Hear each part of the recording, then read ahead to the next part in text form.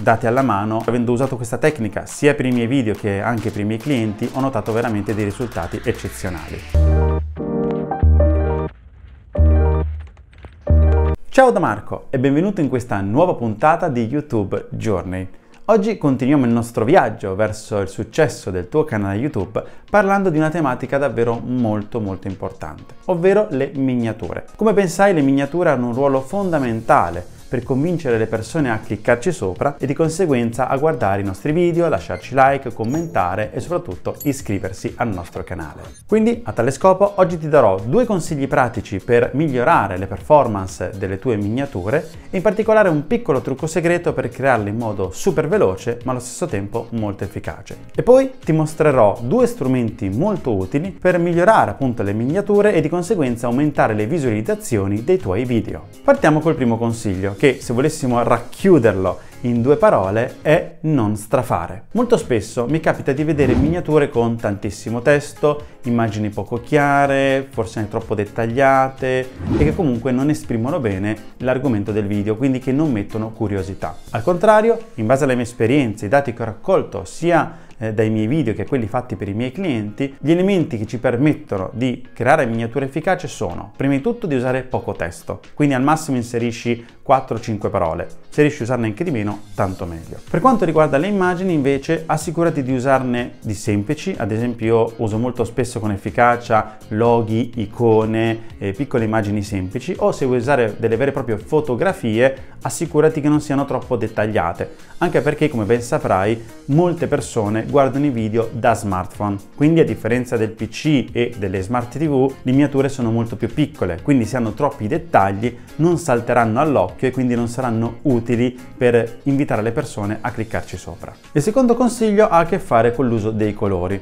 Assicurati di usare colori che per così dire si sposano bene, ovvero che comunque stanno bene insieme e al contrario invece non cozzano e che quindi non danno fastidio da un punto di vista visivo, non danno fastidio all'occhio. Ad esempio io per quanto riguarda le miniature, l'avrai forse anche già notato, utilizzo dei rettangolini neri e rossi con all'interno un testo di colore bianco, creando quindi un contrasto molto forte che fa arrivare subito all'occhio, fa ben capire subito persona, alle persone che lo guardano di cosa parla il video, quindi quali sono le terminologie le parole che ho usato per darti un primo assaggio e quindi portarli a cliccarci sopra più facilmente. Al contrario, non utilizzare colori che si assomigliano troppo, tipo magari il nero col grigio, il blu con l'azzurro o colori che comunque non vanno molto bene. Il blu col rosso, per esempio, all'occhio eh, stanca molto, dà molto fastidio, come il blu col verde, cioè non stanno sempre benissimo. Poi, come ti dicevo all'inizio, c'è un piccolo trucco segreto che ti permetterà di creare miniature in modo super veloce e allo stesso tempo molto efficace. Ma prima di dirtelo, non dimenticare di lasciare un bel like e di iscriverti al canale attivando la campanellina su tutte le notifiche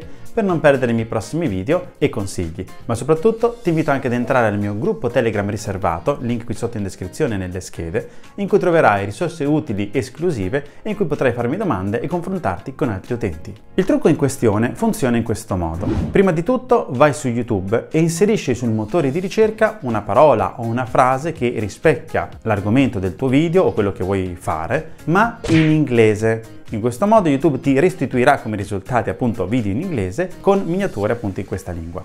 A questo punto identifica i video che hanno generato, attenzione, almeno 100.000 visualizzazioni negli ultimi 12 mesi. Se ne hanno fatti di più nello stesso periodo, tanto meglio. Se ne hanno fatte 100.000 in meno tempo, tanto meglio ancora. A questo punto prendiamo l'immagine e la inseriamo dentro un software come ad esempio Canva o qualsiasi altro programma usi per le grafiche e gli mettiamo in parallelo un foglio bianco in cui andremo a creare effettivamente la nostra miniatura senza copiare quella in inglese al 100% ma solo prendendo quegli elementi che probabilmente avranno influito sul successo di questo video. Infatti il motivo per cui ti ho fatto scegliere un video che ha fatto 100.000 views in circa un anno è perché, dati alla mano, avendo usato questa tecnica sia per i miei video che anche per i miei clienti, ho notato veramente dei risultati eccezionali. Un altro aspetto fondamentale per creare miniature in modo efficace, che in realtà è anche una regola che si applica nel web marketing in generale, è fare degli A-B test, ovvero testare più miniature per capire quale sia la più efficace. Ovviamente questa attività non si può svolgere manualmente, sarebbe praticamente impossibile e quindi è qui che ci vengono incontro e in aiuto alcuni strumenti molto utili. Ad esempio abbiamo TubeBuddy che, ne ho parlato molto spesso di questo strumento, ha di recente implementato una funzionalità che ci permette proprio ancora prima di caricare un video di confrontare tramite eh, un'intelligenza artificiale predittiva quale miniatura potrebbe essere più efficace e quindi ci consiglia quale utilizzare.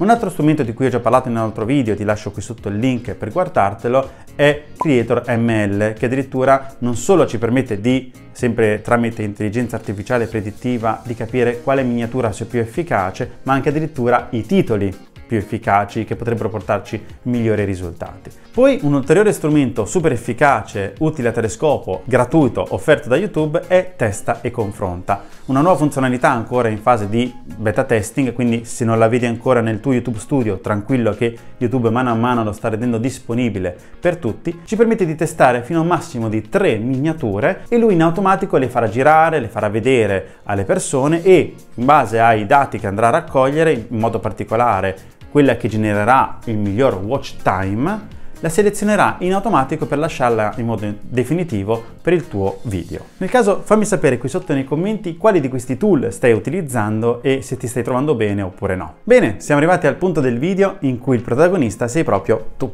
Infatti, come in ogni puntata in cui tramite sondaggi, commenti eccetera chiedo la vostra opinione per portare avanti il nostro progetto del canale YouTube reale che stiamo creando insieme, come puoi vedere qui nelle immagini ho creato tre miniature per il video che avete votato la volta scorsa, che come ben sapete il canale parla di foto e video da smartphone e in particolare il video parlerà di delle migliori applicazioni appunto foto video per smartphone. Quindi scrivi qui sotto nei commenti 1 per scegliere la prima, 2 per scegliere la seconda, ovviamente 3 per scegliere la terza e quella più votata sarà ufficialmente la miniatura che useremo per questo video. Quindi mi raccomando scegli bene in base ai consigli che ti ho dato in questa puntata e quella che secondo te sembra la migliore. Quindi detto ciò, grazie ancora dell'attenzione, ti ricordo di lasciarmi un bel like, di iscriverti al canale e attivare la campanella per non perdere i prossimi video, di entrare nel gruppo Telegram riservato e noi ci vediamo alla prossima. Ciao da Marco!